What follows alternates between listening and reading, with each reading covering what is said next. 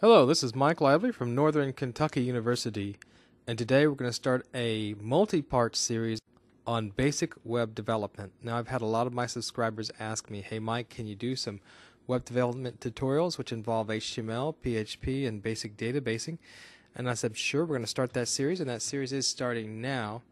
And I've also had a number of subscribers ask, hey, can you do it for free? I went, wow.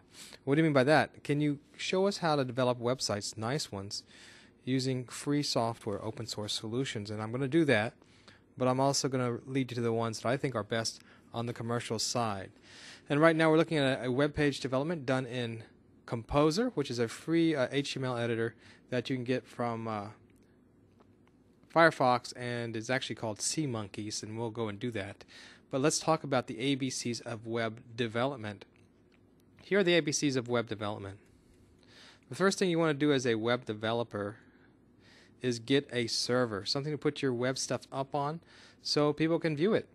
And uh, one I use, and I use it for a number of reasons. One, because it's just so cheap. And if you get into the business and say, I don't like this, uh, you haven't spent much for a server. And that's at www.siteground.com. Also, SiteGround has unlimited MySQL databases, huge amounts of storage space. Doesn't go down that much. I haven't had any problems at all. They get back with you on canned questions within 15 minutes. And uh, also, you have an infinite number of domains and lots of email. So it's a great uh, site to get started with. It is a shared server.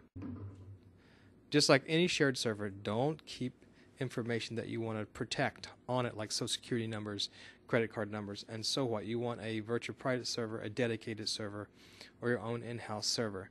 Now, once you register for that service, you're going to get a address, a username, and a password, and we're going to need that to actually put your information up on the website.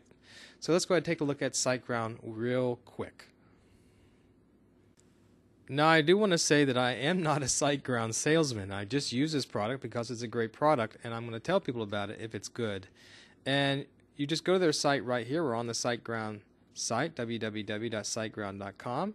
And you can see here for $5.95 a month, they have a super package which uh, gives you a free domain name, 750 gigabytes of space, great transfer, unlimited uh, MySQL databases, unlimited email accounts, unlimited subdomains unlimited FTP accounts, free blog applications, and, and uh, tons of uh, open source solutions. So just I, I like it uh, for what we're doing. And I just want to talk about this a little bit. I work in education. We literally work with hundreds of sites and we're putting up sites all the time. So you may just want one website up. And so your approach may be a little different than ours we typically also work on shoestring budgets. So we're trying to come up with the fastest and most cost efficient methodologies. So you're going to get that from me and just take that and tailor it for your uses. So you might just be running one website and not use some of the techniques we show you. Or you may get into the multiple website business like we do, and then this will be useful. So all you have to do is come along here and hit sign up.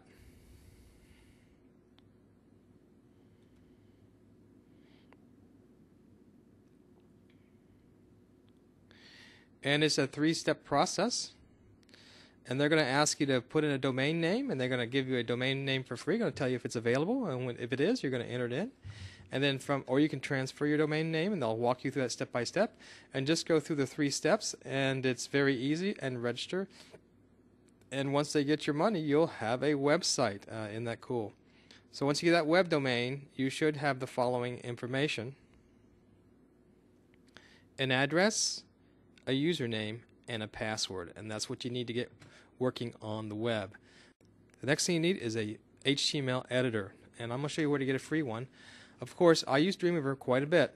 But uh, for you guys who can't afford Dreamweaver or want to try something else, you can use Composer. Now, if you remember the old days of Netscape, Composer was with it, and its Composer still alive, and it doesn't look a whole lot different. This is a very simple web editor, but we're going to do a lot with it and show you how to work with it. And that you can get that at www.seamonkey-project.org. Let's go there right now and download um, Composer. And so here's the SeaMonkey site and just click on the Windows or whatever operating system that you're using.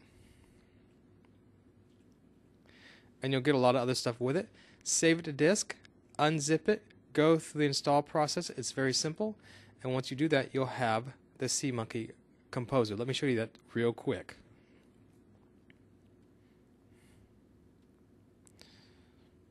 I'm going to go down to my menu bar and open up SeaMonkey.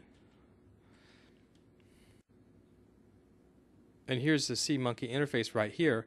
So all I have to do is go to File, New, Compose Page, and here's the free HTML editor. And we're going to use that HTML editor. All right, let's go back to our list and see where we have to go from here. So now that you have your uh, HTML editor, I want you to get an FTP upload software package. Now I use Dreamweaver, but I also use FileZilla. It's great. So these are the FTP file transfer protocol systems, and uh, you're going to need this once you've created your file in Dreamweaver or in Composer.